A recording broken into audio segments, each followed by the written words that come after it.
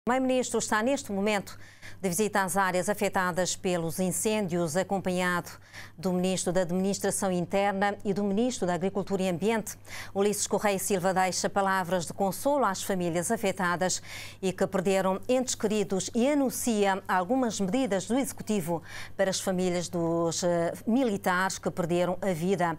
Entretanto, questionado pelos jornalistas se o investimento em meios técnicos e humanos na proteção civil e bombeiros poderia ter evitado que a situação chegasse a este ponto, o Primeiro-Ministro preferiu não tecer muitos comentários.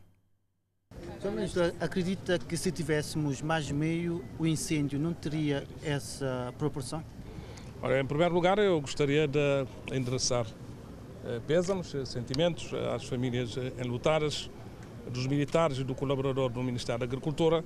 Eu gostaria de centrar-me na, na bravura daqueles eh, que estiveram na frente e ainda estão na frente deste combate, eh, militares, agentes da proteção civil, bombeiros, também alguns civis, e bravura nas condições que nós temos de fazer um bom, um bom combate e continuar até apagar este, este fogo.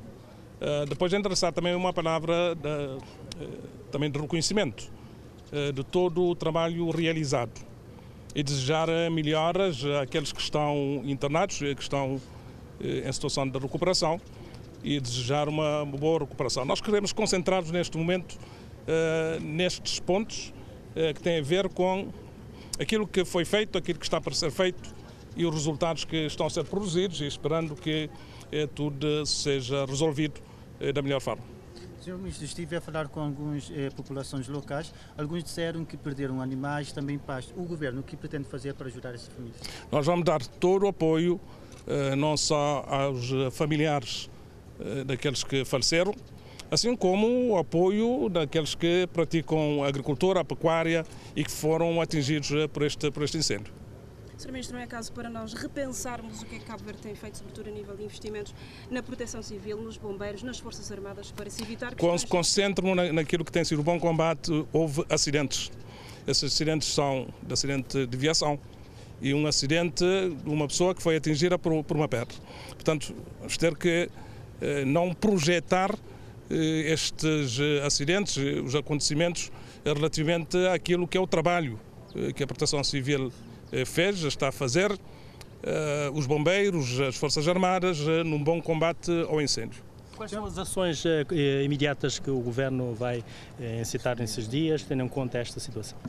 Olha, nós vamos amanhã ter um Conselho de Ministros, vamos decidir a atribuição de uma pensão aos familiares dos militares falecidos, como fizemos relativamente ao acontecimento de Monte Chata, e também do colaborador do Ministério da, Agricultura.